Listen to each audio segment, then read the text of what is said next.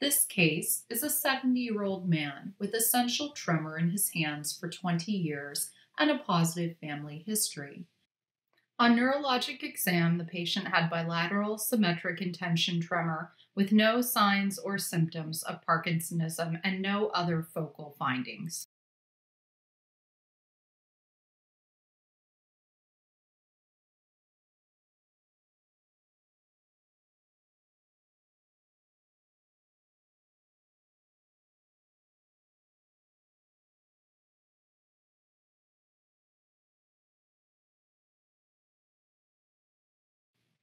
MRI of the brain was negative for pathology and showed minimal atrophy.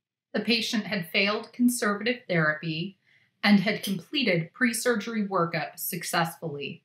The surgical plan was bilateral VIM deep brain stimulation. Risks included a 1% chance of major bleed, a 3% chance of infection, and a potential benefit of 60 to 80% or more of tremor suppression. Alternatives included observation, further medication, and thalamotomy. Patient chose DBS based on its non destructive nature and the ability to simultaneously treat both hands.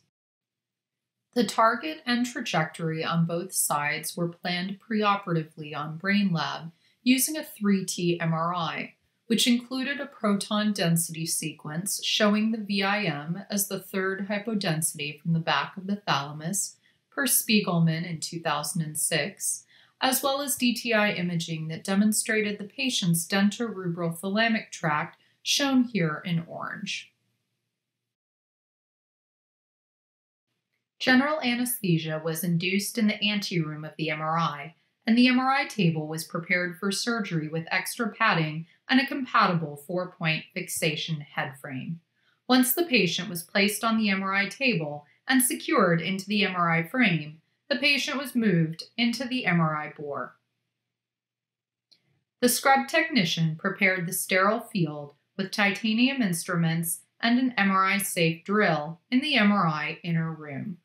Key surgical steps included prepping and draping the site with four blue towels, attaching a Kerlix to the base of the bed, and to the upper sterile towel for retraction purposes later.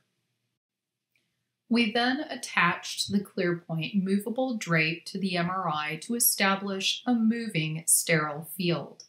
The drape sticks solidly to the head, and 10 total tabs are pulled out from under the drape folds. The five black tabs are passed through the bore and attached to the far end of the MRI.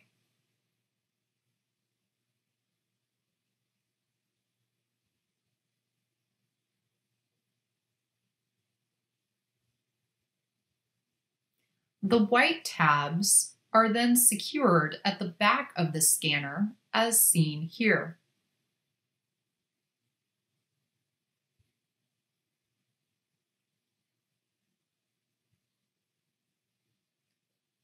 The drape is then expanded, the adhesive removed from the back edges, and the drape is wrapped around the MRI. Two ClearPoint fiducial grids are then centered over the coronal suture bilaterally. Each grid has letters vertically and numbers horizontally for localization. The patient is returned to the MRI ISO Center for a T1 volume scan to determine our entry point. The preoperative planned targets and trajectories are loaded into the current ClearPoint software session and are confirmed on this scan as well. ClearPoint software calculates and displays the intended entry point on each grid. The fiducial grid overlay is then removed, and a sharp screwdriver tool is used to puncture through the grid base and the scalp and make a mark in the bone at the entry site on both sides. The grid bases are then removed and a 10 blade scalpel is used to make a 2 to 3 centimeter incision through the entry point on each side. A Penfield 1 is used to undermine a pouch around the incision for later coiling of the DBS leads. Plastic, self retaining retractors are then placed and secured so that the entry points on the skull can be clearly marked and seen. The ClearPoint frame base is then centered over the entry point and attached to the bone with several screws until the base is fully secure. The frame top with its color-coded knobs is then fit over the base and secured with a locking screw. A hand controller is attached to the frame so that frame adjustments can be made without leaning deep into the bore when the patient is being scanned at the ISO center. After reconfirming the target and the trajectory, a T1 scan series determines the position of the center cannula and provides color coded instructions on turning the knobs to point the center cannula at our targets on both sides. The final bony entry is remarked. A steri-strip is applied to mark the position of the frame top, which is then removed. A 6 to 8 millimeter burr hole is drilled at the entry.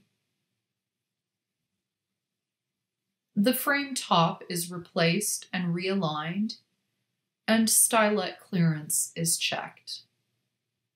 The stylet should not be touching any bony edges or it can be deflected off target. Another T1 scan is performed to confirm that the cannulas are still pointing at target after drilling. Knob adjustments are made as needed. Dura is then punctured using a ClearPoint knife. A ceramic stylet in a peel-away sheath is then inserted through the burr hole entry point down to target. Each stylet has been measured to the appropriate length given by the software to reach the target. A T1 scan confirms that the stylets are at their targets with a minimum error. The stylets are then removed from the peel-away sheath and the DBS leads are inserted through the sheath down to the target on each side. The peel-away sheath is pulled back until the lead can be seen in the burr hole and the burr hole is filled with biocement to fixate the lead exit point. While the cement cures, a final T1 scan is performed and merged with the preoperative BrainLab plan, ensuring excellent lead placement prior to ending the case. The lead holder is disassembled. The inner lead DBS stylet is removed. and the lead is pulled down out of the frame top, which is then removed. A secondary point of fixation is then placed over the lead using a small titanium plate and two 4 millimeter screws.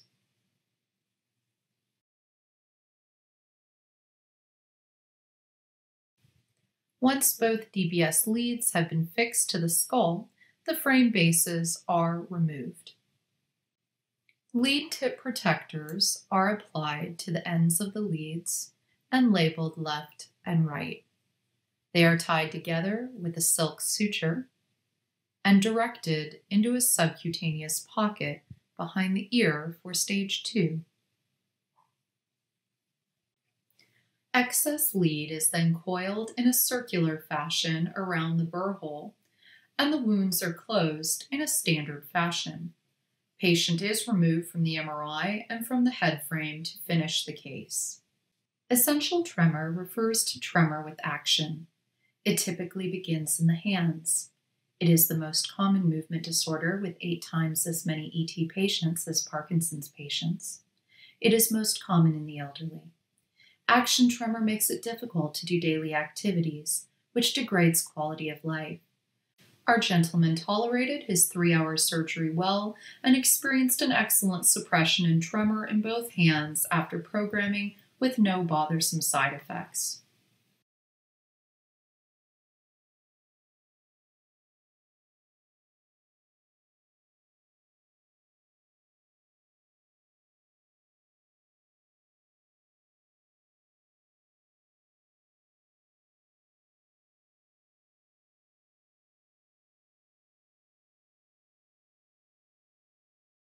While MRI guided DBS procedures can offer benefits, all forms of surgeries performed in the brain can pose serious risks.